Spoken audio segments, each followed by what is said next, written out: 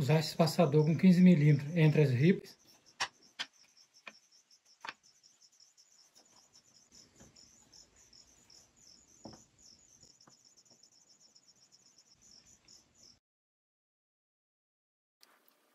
Aqui eu deixei o espaço de 21 centímetros e meio.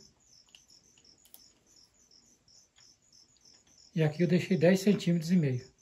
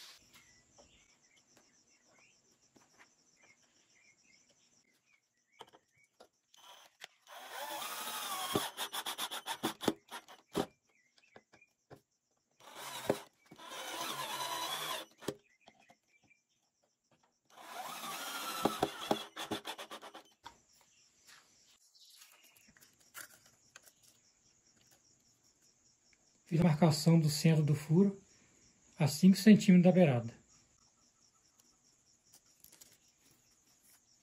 Pegando o meio da largura da madeira. Do outro lado, mesma coisa.